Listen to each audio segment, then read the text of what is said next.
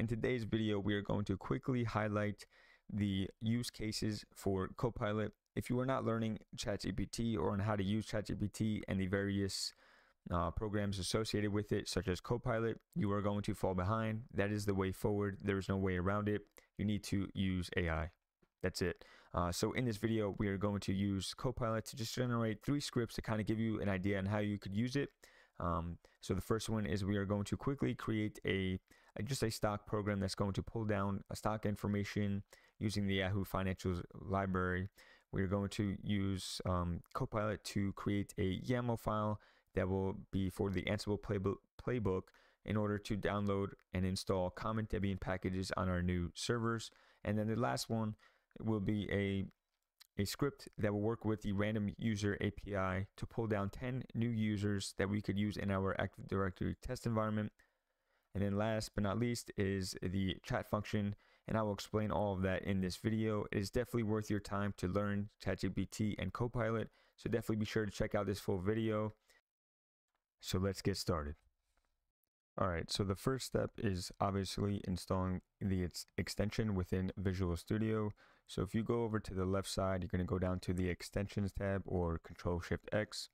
Click on that, and then in the search bar, go ahead and search Copilot. You will click on the first one, and you could go ahead and click Install over here on the right. Or if you highlight it, there will be a little button that says Install. Go ahead and install that extension. That will also install the GitHub Copilot chat extension, which I will explain later on in this video. And once that has been completed after a few minutes, the only other thing that you have to do is at the bottom right, you will get a notification. If you click on that notification, it will present you with the option to authenticate with your GitHub credentials. Uh, so go ahead and just follow that process. It's pretty straightforward you are just if you're already logged in it will just ask you to allow this integration and then you just accept a few things and you will be uh, at step one so for the first example we are just going to quickly create a python function that will integrate with a finance API to pull down stock information or ticker information. Uh, so all we are going to do is we are going to press Control I and that will integrate or ask GitHub Copilot to do something uh, right here in this window. So let's go ahead and do our first prompt. So again, it's going to, um, you're going to ask Copilot to generate some code. So let's kind of just give a simple explanation um, asking uh, what we need. So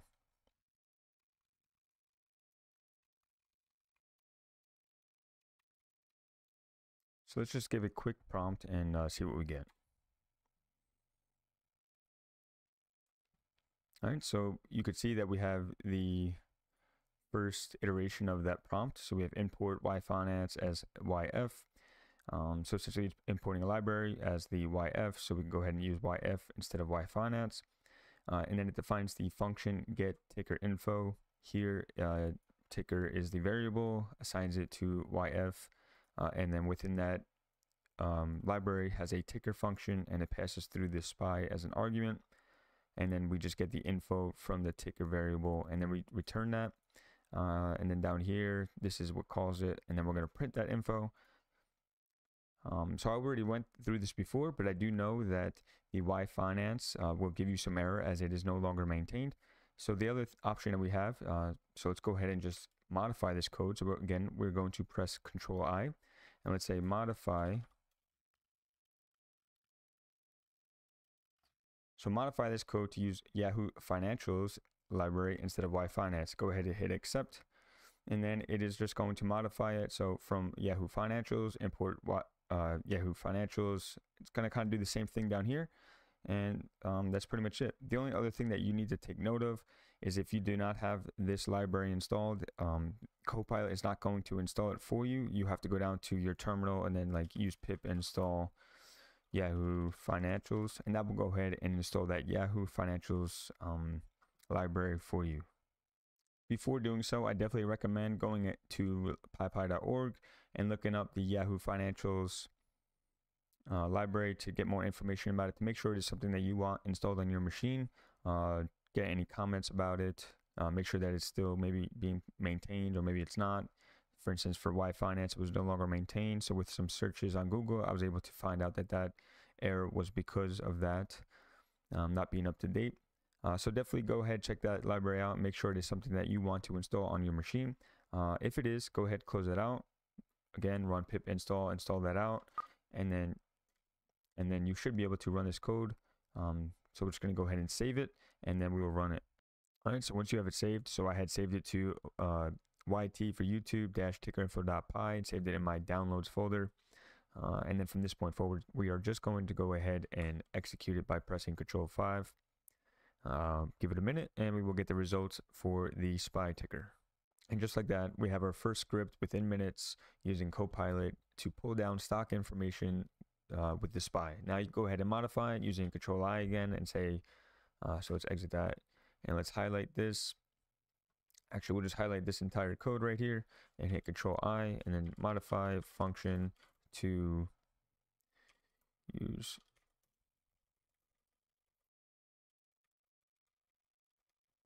So instead of uh, having ticker and a defined ticker here, we want to get that information being passed through to this function, maybe down here. So let's go ahead and uh, modify that. It's going to ask us if we like it, and it's kind of just like you see in the uh, in GitHub, uh, a diff between two files. So in this case, we see red for difference, so it's getting rid of the ticker equals spy, and instead we are passing through ticker. So let's go ahead, and hit accept. Um, so we did make a modification. So now if we executed this, GitHub um, or Copilot did not make the modification down here is because we did not request it or explain it. Uh, as you can see, the error we are getting is get spy info is not defined, uh, which it also, I guess, I didn't even realize that this has been modified as well, get ticker info, and uh, it was get spy info. So let's go ahead and we'll just do the same thing, highlight that, and let's say modify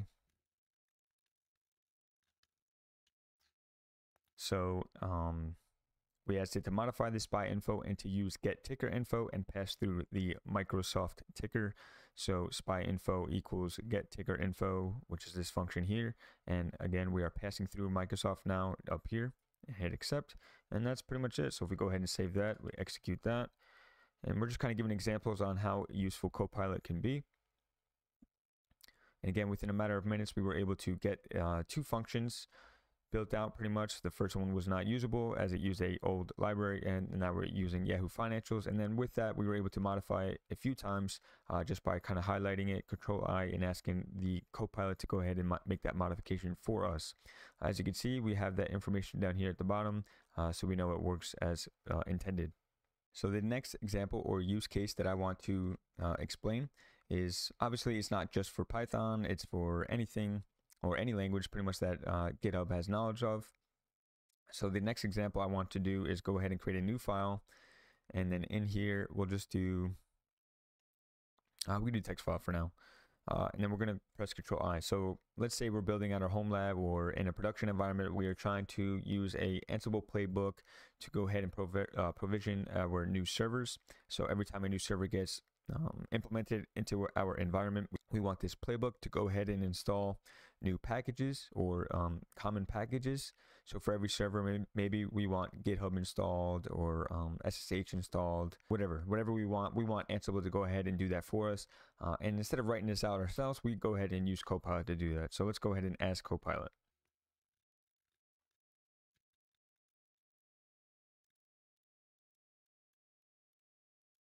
So we are asking um, Copilot to create an Ansible playbook that installs co common Debian packages for new servers in the dev host file. I do not know how to, um, I should probably word this differently because I, I, can't exactly remember how it's split up, but I do remember that you could split up the Ansible playbook to only be applied to certain hosts. Uh, and then within that host file, you have like a block.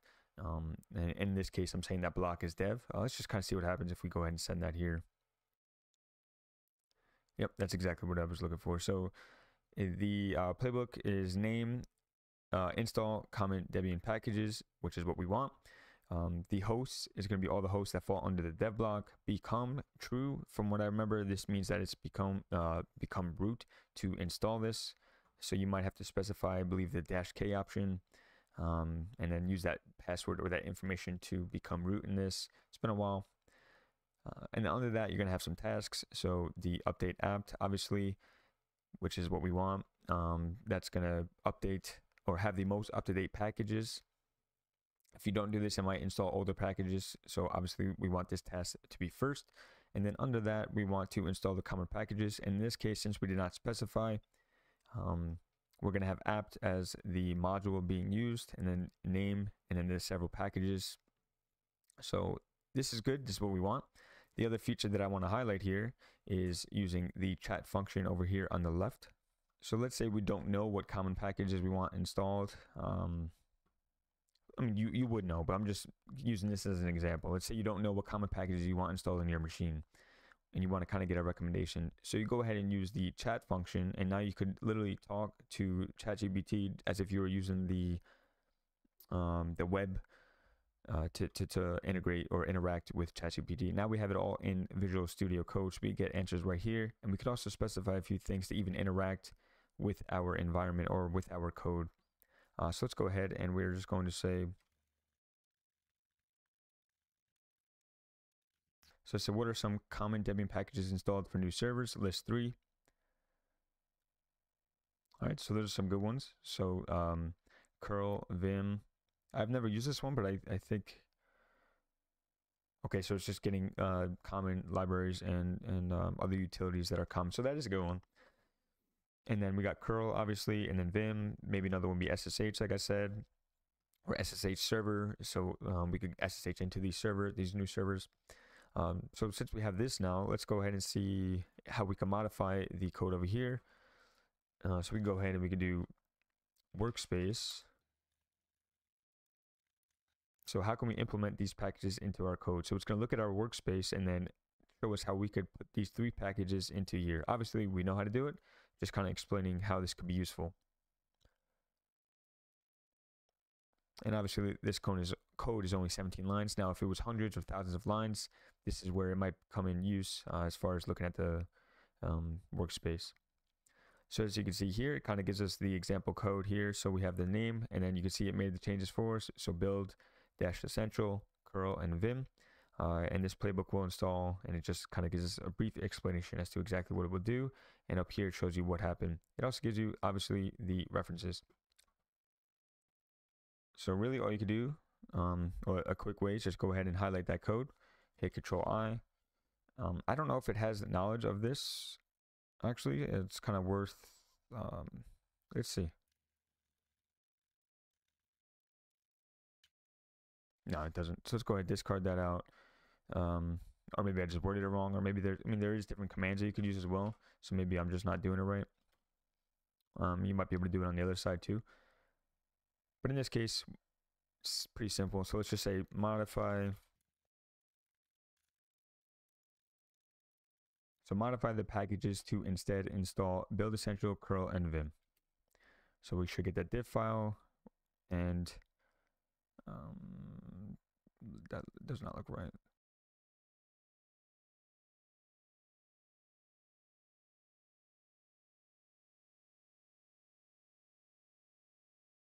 All right, there we go. So um, we just have to change the prompt a little bit. So modify the code to install build essential curl and vim instead of package one, two, and three.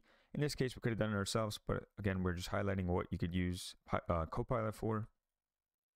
And that's it. So now if we install or use this configuration file, this YAML file on our um, Ansible server, we go ahead and push this out and um, install common Debian packages on our new servers. One last example to kind of put it all together. Uh, this is going to be used in the future actually in a different lab. Um, so one of the things that I need to do is I want to generate an Active Directory lab and in that lab I want to have a bunch of test users that I can go ahead and play around with. Uh, so what I thought of is why not have a Python script that's going ahead and generate that information for me. I have to look into exactly how I could implement that into Active Directory. I have not done that research yet, but if I wanted to, for instance, I go ahead and use the chat function how can I let's see if this gives us any information there we go so it even gives us everything for us uh, so it, it, would it looks like it would import the CSV obviously under users and then we would loop through each of the users. Obviously this is PowerShell which it probably says up here. Yep PowerShell. Uh, it's going to use a new AD user cmdlet and then it's going to pass through each of the information to there, um, which is awesome. Uh, so again, this is going to be in the future lab. So this is kind of the example I came up with. So real quick, let's go ahead and again use Copilot and let's say generate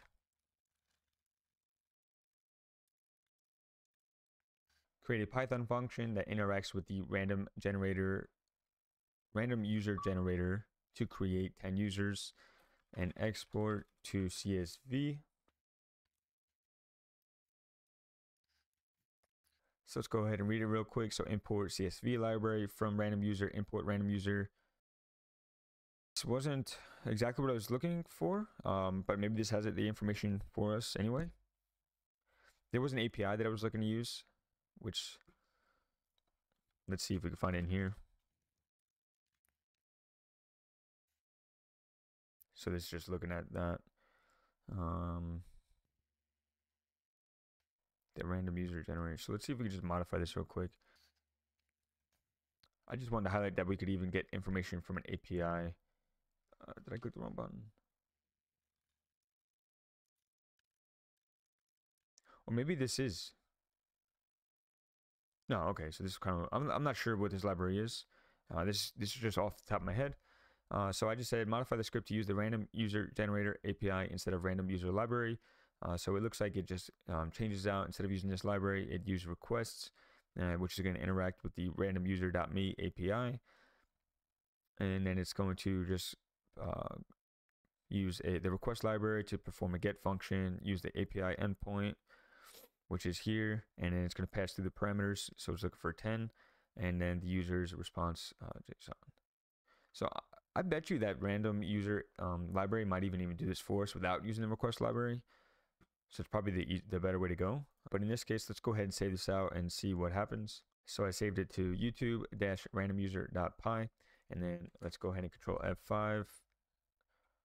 So it looks like it did generate something. So let's go see what the results are. So within the path, we'll just go ahead and open that. Uh, so one thing I noticed, I wasn't getting the path and I just realized that this function is not being called. So right now we just have a function. Uh, so let's go ahead here at the bottom and see if that works. So we'll go ahead and just call it real quick. And then execute. And it says users exported to users.csv. All right, so it looks like I was able to get that information. Uh, so now under name, email, username, and password, we have the name, um, email, username, and there's a plain text password that it had generated.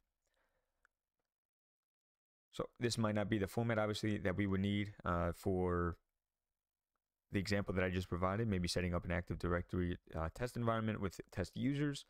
Uh, but this kind of gets to that point there. Again, we could use um, the chat function to, let's see, what additional so what additional information can we pull from the random user API? So maybe we wanted like a hash value of that password or a phone number or whatever. Uh, so yeah, so we use the chat function to kind of get us more information about that API. So we could even modify it further. So let's say we want to. So it just looks like it went down here and it's going to add the phone number and date of birth and it's going to assign that to phone and date of birth variable and then grabbing it from the uh, user uh, list and the phone value. So we'll go ahead and hit accept. So now if we generate that again, so it looks like we have an error. Um, so maybe if we do control I, hit fix. Either way, I'm not going to go ahead and work out this problem now, uh, but you get the point. You go ahead, use chat, uh, the chat function to get additional information. Go ahead and modify the script over here. Using control I, you're able to, to um, work with Copilot to just generate code within minutes. Um, like I explained in the beginning or in the intro of this video, the reason why this is so important because, especially for those that are in a um, a position where they're not really a front end developer, but they're trying to get uh, information quick, you could generate scripts to do that for you.